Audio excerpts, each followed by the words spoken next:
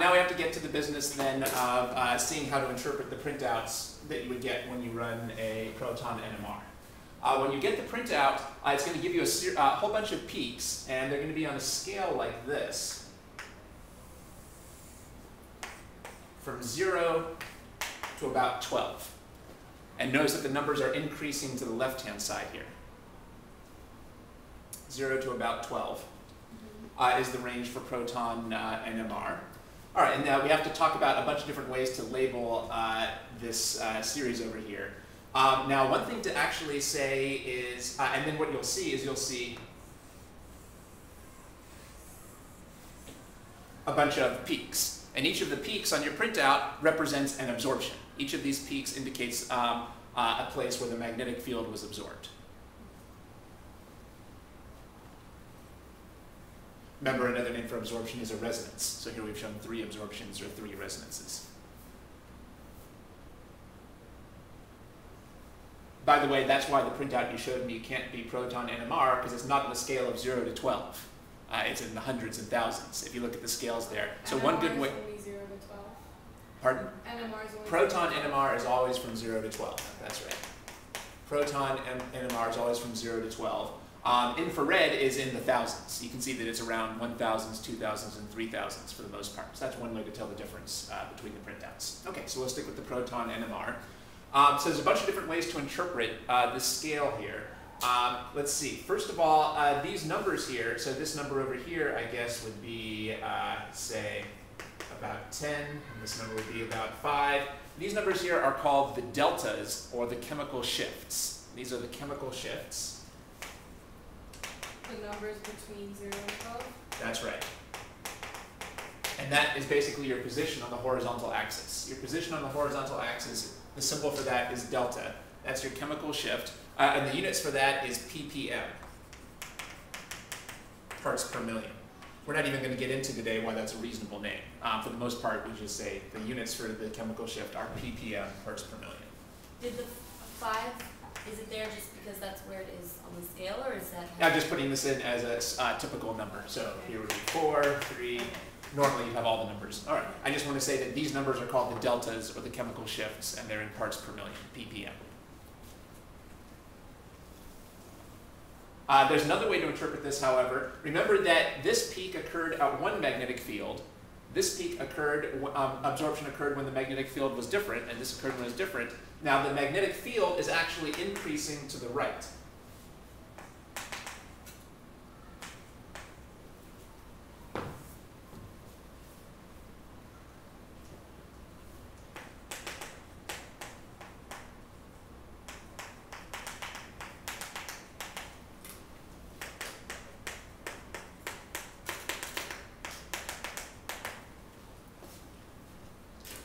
So this absorption occurred when we had set a high magnetic field. These radio waves were absorbed when we had set a medium magnetic field, and this absorption occurred when we had uh, a low magnetic field.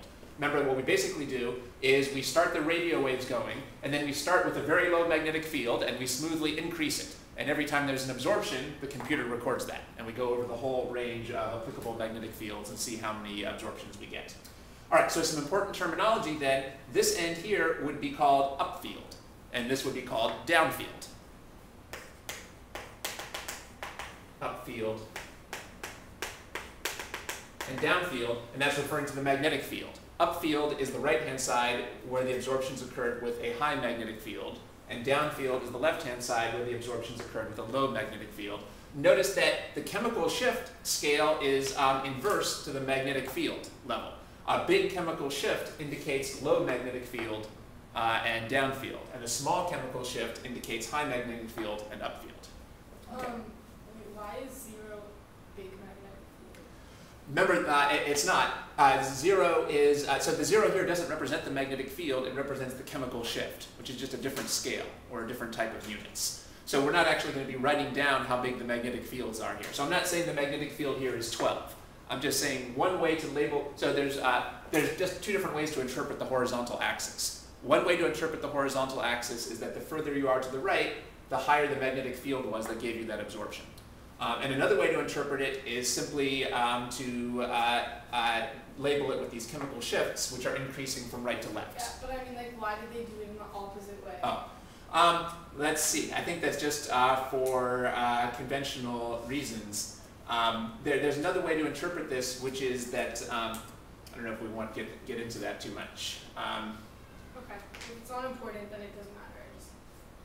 For one thing, we always put in kind of a um, a reference compound, so we can compare the peaks to the reference compound. Usually, we put in TMS, and TMS absorbs at very high field.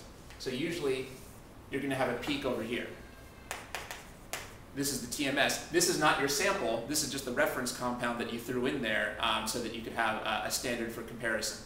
Um, and almost all, almost all the other compounds you'll see always absorb at lower magnetic fields. So since our reference is absorbing at a very high magnetic field, it's useful to call that reference zero. okay. There's, there's some other reasons why it's useful to go from right to left here, but one reason is our reference is at a very high magnetic field, and it's useful to have your reference called a zero chemical shift. And then everything else is a chemical shift compared to that. Alright. Okay. Uh, by the way, though, that's an important thing for interpreting these spectra. You should never pay any attention to this peak right way, oh, way over here at zero, because this is just the TMS. That's not the sample that you're trying to figure out. So when you get your printout, there'll always be a little peak over here on the right for the TMS reference. That's not the sample that you're trying to interpret.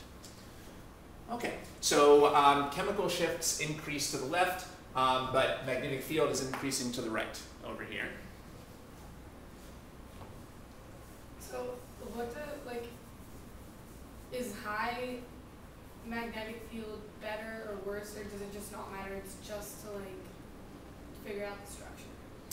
Yeah, so I guess better, um, good and bad wouldn't really be applicable here. All we're doing is we want to, we simply want to measure which absorptions, we simply want to uh, take a look at which absorptions occurred at which fields. So But it's- if, I'm saying, like, if the, if the things absorb at higher magnetic field, does that mean they are capable of doing something better or like more than Just means they're different. compounds? just a clue for what their environment is. So things that absorb at high field are in a different environment. Through, we'll, we'll keep decoding how to figure out those clues. Okay, all right.